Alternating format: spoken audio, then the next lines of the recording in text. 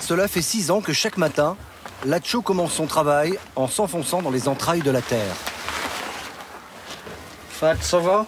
C'est ce que je dois faire en premier. I need to go down. Descendre. La tenue de travail du jeune homme de 21 ans, c'est un longji, le pantalon traditionnel birman, et une paire de tongs. Il descend à 10 mètres sous terre, sans aucune protection, en s'accrochant aux parois à main nue.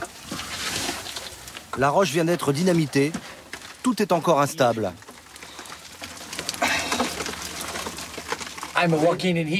Quand je travaille en bas, une pierre peut tomber. Comme celle-là. Je peux mourir. Ici, à Mogok, la plupart des mineurs ne portent jamais de casque. Pourquoi? C'est trop cher? Non, c'est pas que c'est trop cher. the mine C'est juste qu'on a toujours fait comme ça. Au fond de ce trou, il ne cherche pas de fer ou de charbon, mais la pierre précieuse, la plus rare au monde. Uh, they are in the mat. Elle se cache dans la boue, uh, le sable ou la roche. We cannot know where On ne peut jamais savoir où on va en trouver. Tenez cette poignée de terre, par exemple. Si vous avez de la chance, vous pouvez tomber sur un gros spécimen. La plupart des gens qui travaillent dans la mine rêvent de trouver cette pierre. Et c'est pour ça que chaque jour, ils risquent leur vie ici. Cette pierre, tant convoitée, c'est le rubis. Avec l'émeraude, le saphir et le diamant, c'est l'une des quatre pierres considérées comme précieuses dans le monde.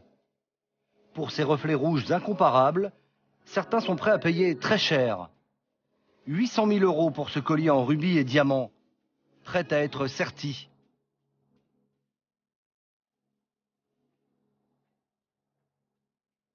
Jusqu'à 2 millions d'euros pour ce rubis sang de pigeon, d'une intensité si profonde qu'on le compare au sang du volatile.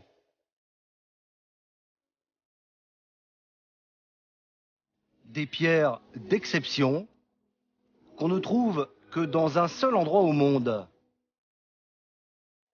Le nord de la Birmanie, près de la frontière chinoise.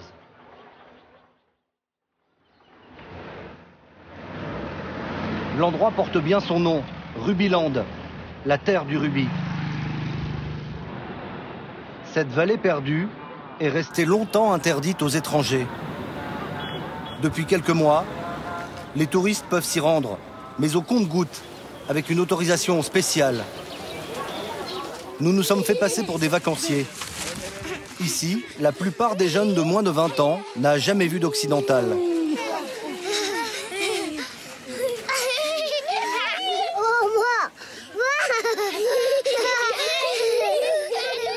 Depuis 15 ans, la junte militaire au pouvoir fermait la région comme un coffre-fort, gardant jalousement le secret de cette caverne d'Ali Baba.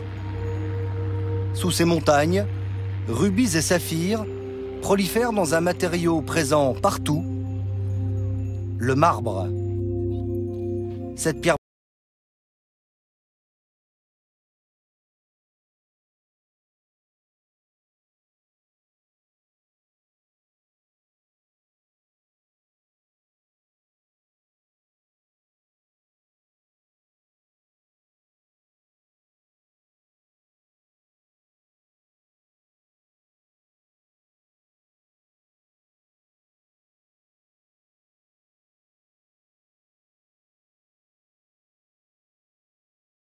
Dans la région, plus d'un millier de mines. Il y a celles opérées par l'État, interdites aux caméras, et les mines privées comme celle-ci, qui reversent 20% de leurs bénéfices à la junte militaire. Partout, on travaille encore à l'ancienne. À même l'épaule, on transporte les bâtons de dynamite qui permettent de creuser de plus en plus profond. Parfois, à plus de 50 mètres. Ensuite, la roche est cassée avec un marteau-piqueur à la recherche du Graal. On retrouve Lacho, le jeune garçon qui cherchait des rubis au fond de son trou. Pour multiplier ses chances, Il travaille aussi l'après-midi dans cette mine à ciel ouvert. Ici, on envoie de l'eau à haute pression sur le flanc de la colline pour faire tomber les roches une à une avant de les envoyer au triage. Lacho travaille 10 heures par jour pour l'équivalent du SMIC local.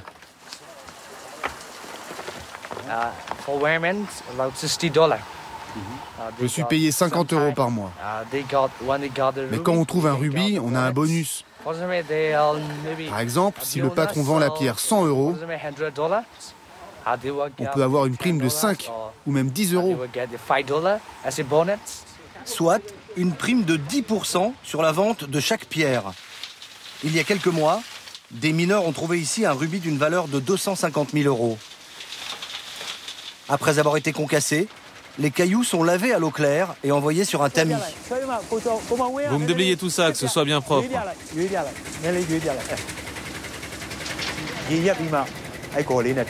On arrête l'eau pour pouvoir commencer à trier. Les pierres précieuses sont naturellement plus lourdes, donc elles restent au fond du tamis, et c'est là qu'on les cherche. Un travail de fourmi réservé aux ouvriers qualifiés.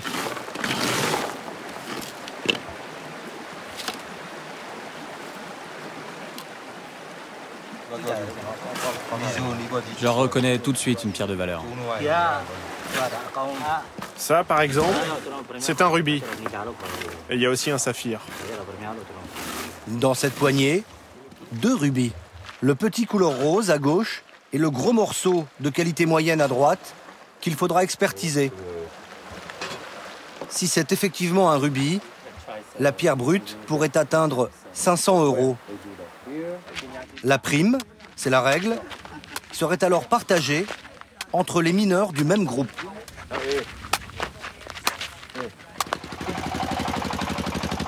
À Mogok, rien ne se perd. À la sortie de la mine, des femmes équipées de marteaux. On les appelle les canésés. Le gouvernement les autorise à venir récupérer les déchets de marbre pour casser une dernière fois les petits morceaux et trouver des pierres qui leur permettront d'acheter de quoi manger. Pour se protéger du soleil, femmes et enfants se couvrent le visage de Tanaka, une poudre d'origine végétale au parfum de santal. Dans cette région de 200 000 habitants, 9 personnes sur 10 vivent tant bien que mal des pierres précieuses. 18 heures, fin de la journée de travail pour Lacho. Il habite une petite maison de bambou. Il la partage avec son père, sa mère et deux de ses frères. Je vous présente mon père. Il doit avoir dans les 67 ans. Voici ma mère. Elle a 60 ans. Je dors ici avec mon frère. Mes parents dorment là. Vous pouvez nous montrer Ah oui, oui. Voilà le lit de mon père.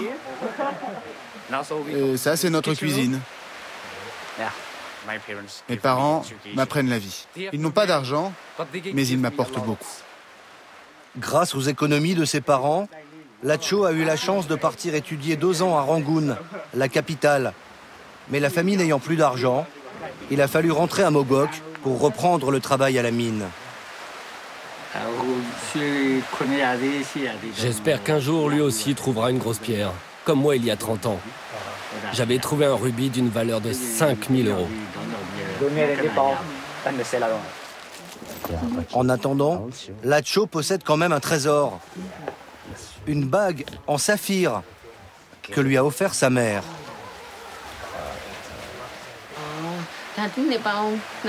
Ça fait 20 ans que je l'ai. Le saphir vient de la mine de ce village. C'est pour offrir à sa future femme? Non, c'est pour lui. J'aimerais bien qu'il la porte. Mineur, de père en fils, à Mogok, c'est comme cela depuis presque toujours.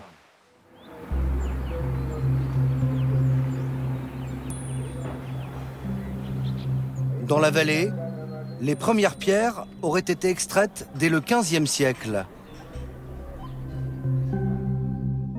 Les rois birmans considéraient alors la pierre rouge comme sacrée.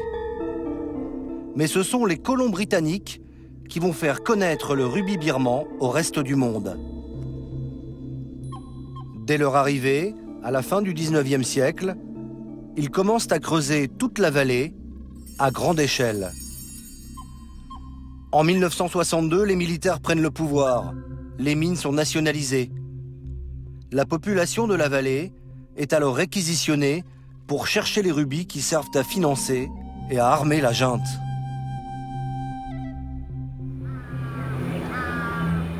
Aujourd'hui, Mogok est considéré comme la Mecque des pierres précieuses par les gémologues du monde entier. Mais rares sont les négociants occidentaux qui parviennent à s'y rendre. Ce jour-là, Adi Peretti, un expert suisse, fait figure d'attraction sur le marché aux pierres précieuses de la ville.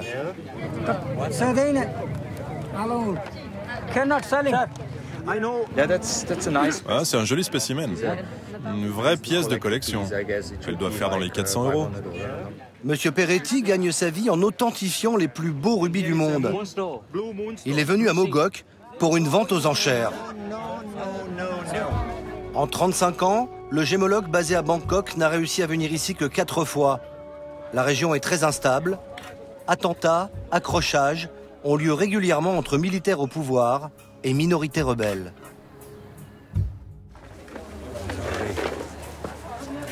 La vente aux enchères a lieu dans cette maison, accrochée à flanc de colline.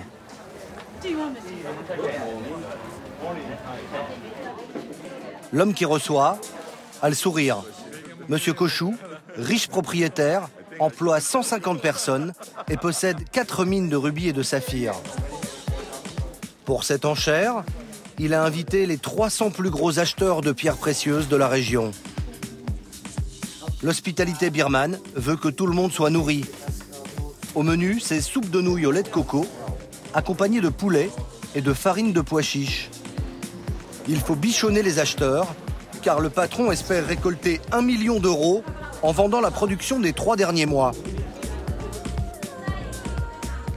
Le rubis est présent sous toutes ses formes. Brut, poli ou prêt à être taillé.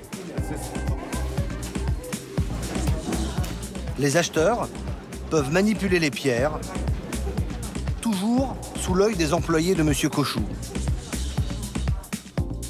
Les pierres sont partout, même dans la chambre à coucher du patron.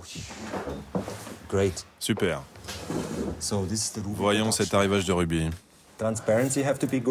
Il faut qu'il soit transparent. La couleur est importante. Le rubis sans pigeon est très rare, peut-être 1%. Le reste, on appelle ça du rouge rosé. Quelle est la valeur du lot sur cette table? Environ 2500 euros pour celle-là et entre 4 et 8 000 euros pour tout le reste. Ce prix, c'est pour les pierres brutes qui devront ensuite être taillées, polies et serties.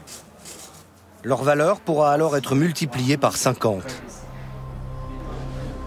Des rubis dans la chambre et dans le salon, des saphirs. Les pierres sont examinées une à une par les acheteurs, car il va falloir faire une proposition de prix. C'est le plus offrant qui l'emporte. Il n'y aura pas de surenchère. Les saphirs de Monsieur Cochou sont réputés pour leur qualité exceptionnelle.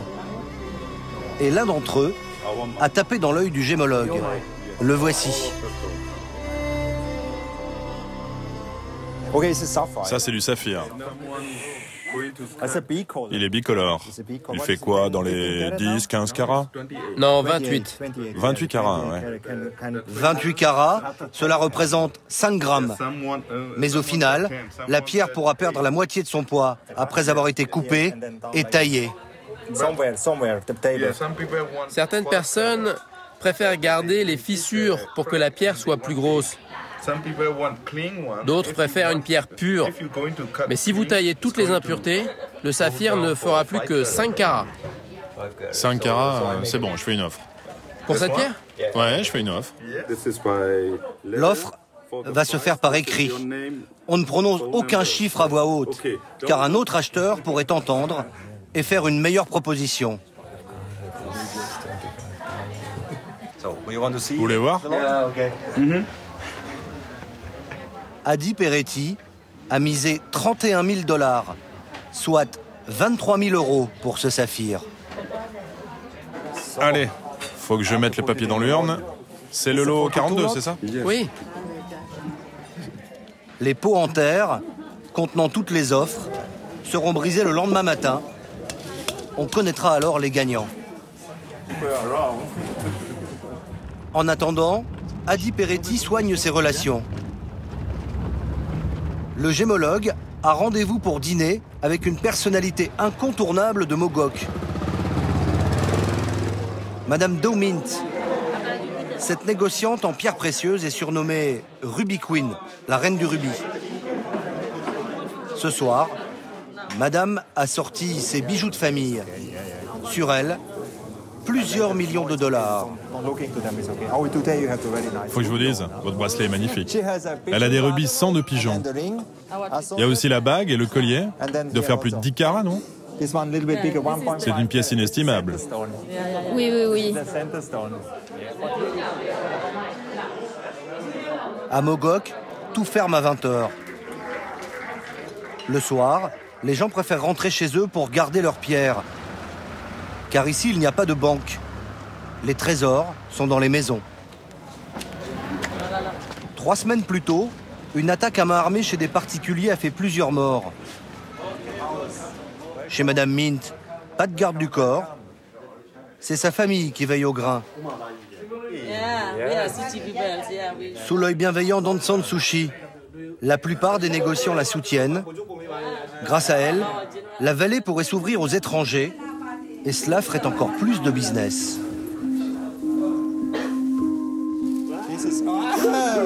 Au premier étage, un véritable musée. La Ruby Queen exploite cinq mines. Elle garde un échantillon de chaque cavité où elle a trouvé des pierres de valeur. Voici les derniers joyaux qu'elle a découverts. Elle voudrait les vendre dans quelques jours à Bangkok. C'est laquelle la plus belle?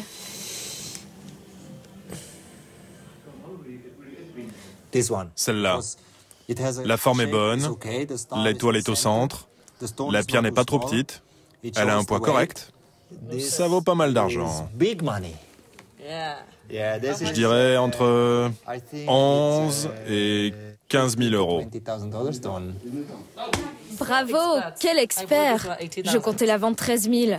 Combien? 13 000 euros. 13 000 euros. Madame Mint doit aussi vendre ce lot de 36 petits rubis, estimés à environ 100 000 euros. C'est quoi le meilleur marché pour vendre des rubis? Le meilleur marché, c'est l'Europe, et notamment la France. Les Français adorent le rubis de Mogok. Ils l'adorent. Et vous vendez à quel grand bijoutier? Vous voulez pas le dire? Vous connaissez sûrement cette célèbre place Vendôme Oui. Oh. Les pierres de Madame Mine sont très chères. Le Suisse ne lui achètera rien ce soir.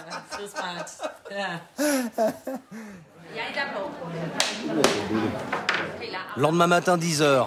À la mine de Beaumard, les enchères sont terminées. C'est l'heure des résultats. Lot numéro 21, remporté par Madame Ai Ai Mint au prix de 6400 euros.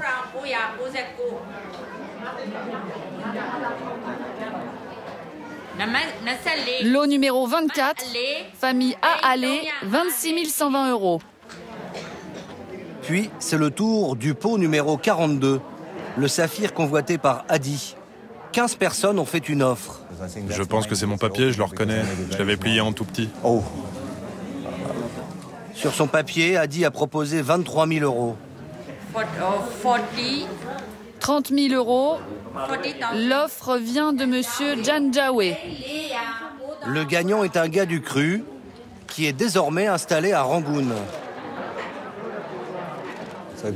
Il m'a battu de 7000 euros. En fait, j'étais pas si loin que ça. Hein. Vous m'avez battu. Bonjour, enchanté. Vous êtes propriétaire de mine Avant, j'avais des mines. Maintenant, je suis plutôt dans le commerce des pierres. J'achète, je vends. La Chine Shanghai Pékin Oui, Pékin. Oui, Pékin. C'est là que vous vendez le plus cher, non Merci. Pour les grosses sommes, la transaction se fait directement dans le bureau du patron. Le gagnant vérifie que c'est bien la pierre qu'il vient d'acheter.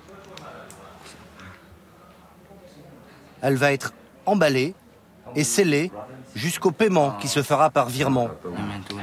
Monsieur Janjawe a déjà des clients chinois intéressés par ce saphir qui, une fois taillé, pourrait être revendu 120 000 euros, trois fois plus que le prix qu'il vient de payer. Mogok, la vallée où tous les rêves sont permis. En attendant de trouver un jour le gros rubis qui lui permettrait de monter son business, Lacho, le mineur, vient chaque mois à la pagode de Yoyonggang pour implorer le dieu des pierres précieuses. Une pagode où ceux qui ont fait fortune sont venus faire des donations. Rubis, saphirs, et autres pierres précieuses sont exposées en quantité derrière ces grilles. Ils croient que si on fait une donation, on pourra trouver une pierre et puis d'autres qui vaudront encore plus cher. On croit tous à cela. Quand on donne, la chance vient en retour. Lacho a déjà tout prévu. Dès que la chance lui aura souri, il ouvrira une petite agence de voyage à Mogok pour faire découvrir la vallée des rubis aux nombreux touristes qui débarqueront bientôt.